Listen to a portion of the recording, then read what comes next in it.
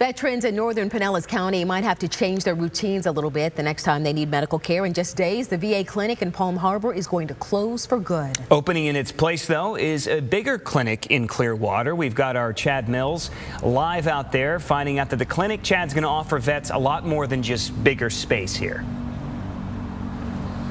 That's right, guys, because this clinic behind me, you see it there in the distance, will offer veterans in this area more services too, including better, more mental health services, a need that's really been magnified during the pandemic, both here and across the country.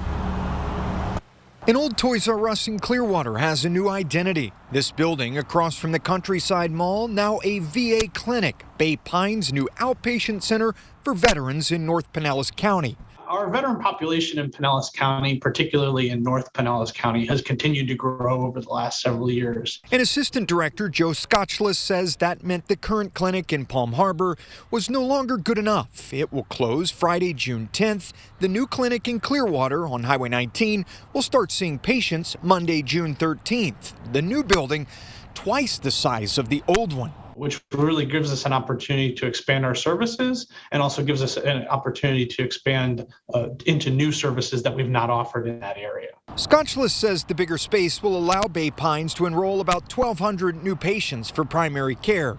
It'll also allow for more physical medicine like physical and occupational therapy and better mental health treatment, including a secluded mental health center.